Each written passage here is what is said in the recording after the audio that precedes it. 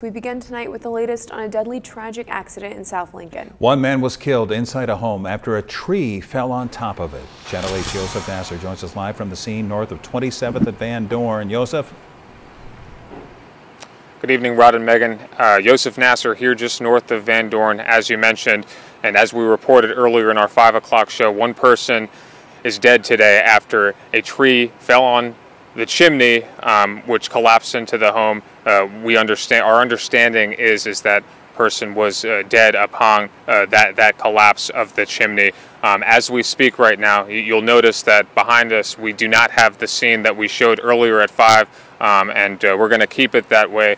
Um, white cloths are up right now. Uh, our understanding is that the body, if it's not being removed right now, it will be removed shortly. So, out of respect for neighboring residents, family members, and friends, we will not be showing that. But I can confirm that I've seen uh, uh, authorities uh, leave the residence with shovels and barrels, and uh, about 10, 15 minutes ago, uh, a white sheet was put up. So, again, our understanding is that um, after working to get inside of the uh, residence when we were here at 5 o'clock. Uh, trees were being uh, trimmed down, um, or when I arrived here at 5 o'clock. We've been out here since uh, 1 p.m. Uh, our, our, crews have, have, been out here since 1.30 p.m. Um, that's uh, when this incident happened, about 1, 110. Uh, which is when this incident happened, when authorities uh, responded to the scene.